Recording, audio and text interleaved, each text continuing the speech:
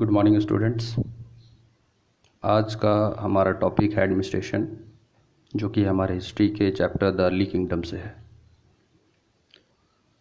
इसमें हम लोग ये जानेंगे कि प्रशासन के कितने लेवल्स थे, यानी एक किंग जो है, वो उसके द्वारा अकेले पूरे साम्राज्य पर के लॉ एंड ऑर्डर को देखना एडमिनिस्ट्रेशन को देखना पॉसिबल नहीं था।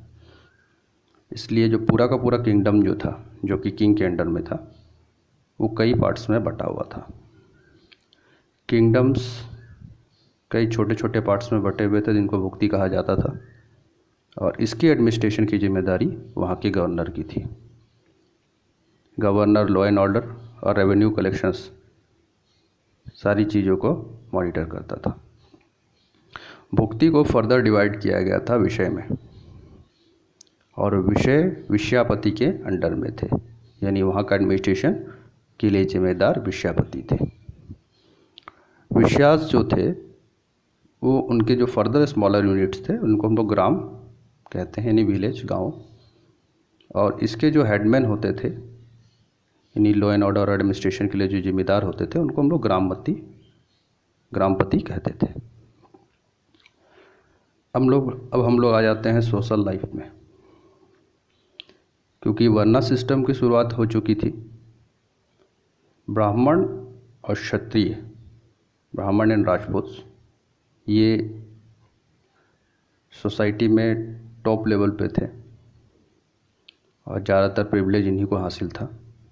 हालाँकि वैश्य, जिनमें ट्रेडर्स मर्चेंट्स फार्मर्स इंक्लूडेड थे, इनका भी बहुत ही महत्वपूर्ण योगदान रहता था सोशल लाइफ में।